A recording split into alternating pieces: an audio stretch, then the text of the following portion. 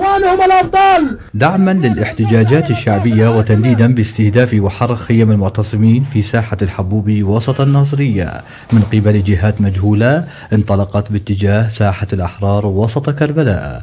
مسيرة طلابية حاشدة موحدة لطلبة الكليات في المحافظة.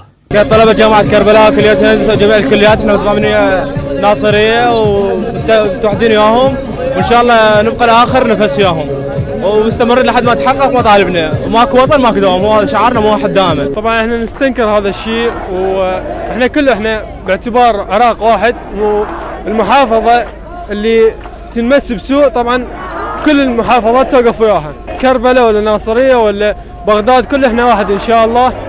واللي يمس أي خيمة باي محافظة يعني يمسنا لنا شخصيا. الطلبة المشاركون أكدوا أن استخدام القمع والعنف المفرط ضد المتظاهرين السلميين سوف لن يثنيهم ابدا عن الاستمرار بثورتهم الساعية إلى تحقيق التغيير الشامل والعيش بوطن حر مستقل، مؤكدين استمرارهم بالتوسع بالاعتصامات والإضرابات مهما استمر الصمت الحكومي والتسويف والمماطلة بعدم تلبية مطالب المتظاهرين. كطلبة موقفنا من البداية هو حاسم نفسه بقى هو اعتصام وباقين المعتصمين وأعتقد إنه بعد القمع اللي صار بالناصرية وبقية المحافظات آه، آه، إنه حتى يحاولون يحاولون التظاهرين يرجعون لا هذا هذا بالعكس يزيد حماس الطلاب والمتظاهرين بشكل عام حتى حتى نكمل المسيرة اللي بدينا بيها. وأعتقد هاي المظاهر مظاهر القمع والمسيل وغيرها وغيرها ما ترجع ثائر طالع على مود وطن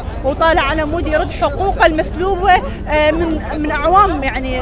كثيرة. مستمرين كطلبة معتصمين وباقين حتى تحقيق المطالب وحتى يرجع آخر ثائر وآخر ثوري بالتحرير وكل المحافظات. الحراك الطلابي الاحتجاجي يسير جنبا إلى جنب مع الحراك الشعبي الذي يشهده الشارع العراقي ليمنحه زخما كبيرا خصوصا بعد محاولات بعض الأطراف لتحجيمه ليؤكد مرة أخرى أصحاب القمصان البيضاء بأن ثورتهم مستمرة ولن تموت مهما كانت الظروف.